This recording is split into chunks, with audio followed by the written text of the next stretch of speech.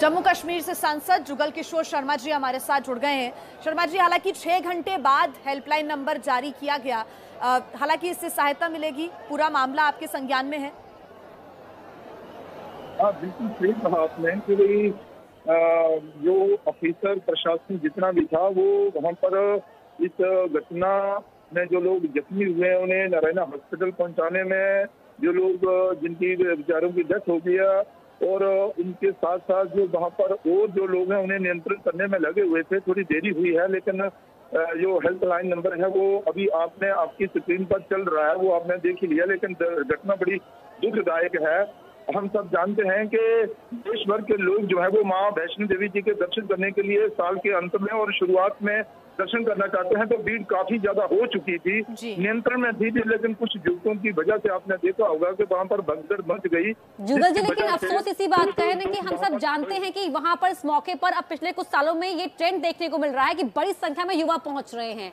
तो क्या पहले से ही कैलकुलेट नहीं किया गया? इसमें चूक रह गई? नहीं नहीं नहीं ऐसा नहीं है। वहाँ पर सारा संयम है और वहाँ पर कंट्रोल होता है। और वहाँ पर सारी व्यवस्थाएँ रहती हैं। लेकिन, कुछ युवकों द्वारा जो आपस में भिड़ गए और उनकी वजह से बंदर जब मची तो बंदर मचने से जो लोग वहाँ पर फुटपाथ पर भी कई बार सो जाते हैं, आराम करते हैं। जो है वो चढ़ गई वहाँ से, लोग जो निकले तो उसकी वजह से ये घटना घटी है, लेकिन बड़ी दुखदायक है एलजी प्रशासन पूरी तरह से लगा हुआ है। प्रधानमंत्री लगातार, वहाँ एलजी प्रशासन और बाकी लोगों से संपर्क बनाए हुए हैं और आने वाले दिनों में कोई ऐसी घटना ना हो, जो लोग जख्मी हैं, उनको पूरा इलाज दिया जाए, ऐसा उन्होंने व्यवस्था कर रखी है। जुगल किशोर शर्मा जी, सवाल ये कि एक तो छह से सात घंटे का वक्त हो गया और उसके बाद हेल्पलाइन नंबर जारी हुआ। आप भी इस बात को स्वीकार कर रहे हैं कि थोड़ी सी देरी हो गई।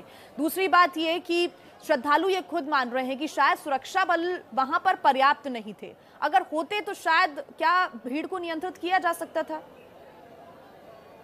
नहीं, ऐसा है कि जितनी व्यवस्थाएँ वहाँ पर कर रखी हैं, वो यात्रा के लिए तो सक्षम रहती हैं और आज ही पहली बार ऐसा नहीं हुआ है। वहाँ पर कई बार इतनी इतनी यात्रा जो है रहती है। लेकिन वो नियंत्रण में रखने के लिए वहाँ पर पूरी व्यवस्था जो है, वो रहती है। लेकिन भगदड़ मच गई तो उसके बाद फिर कंट्रोल नहीं हो सकी।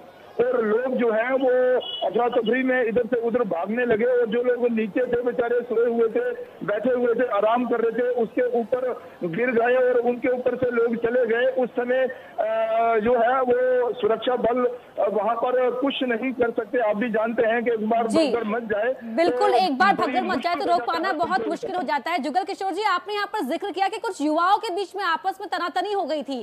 क्या वजह थी? क्या हुआ था? जरा आप बता पाएँगे?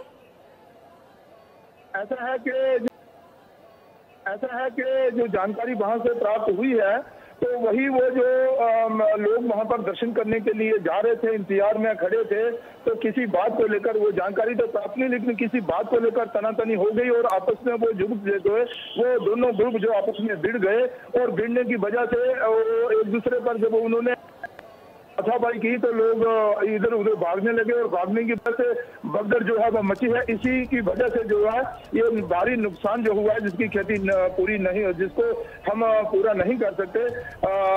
ऐसा है कि अब उनका इलाज तो नारायणा में चल रहा है। हेल्पलाइन भी जारी कर दी गई है। अभी प्रशासन और जो मुख्य मंदिर से और जहाँ पर ये जहाँ पर ये तनातनी हुई मुख्य मंदिर से वो कितनी दूरी पर है वो जगह? बिल्कुल बिल्कुल पास ही है कोई ज़्यादा दूरी पे नहीं है। जी। ये सौ दो सौ मीटर के अंदर ही ये घटना जो है वो घटी है। अच्छा और जिन युवाओं के बीच में तनातनी हुई क्या वो जख्मी वो भी जख्मी हुए हैं? वो भी एडमिट है?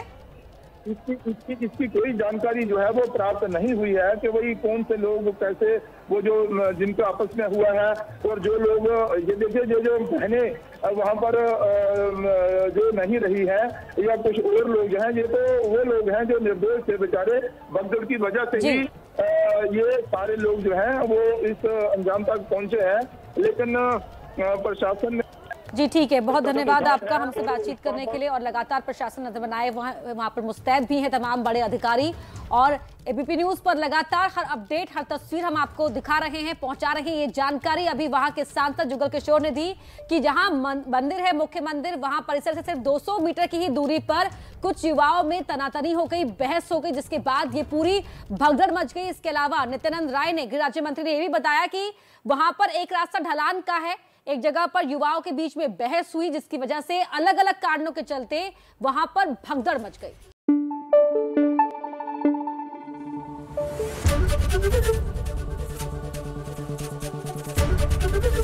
एबीपी न्यूज़ आपको रखे आगे।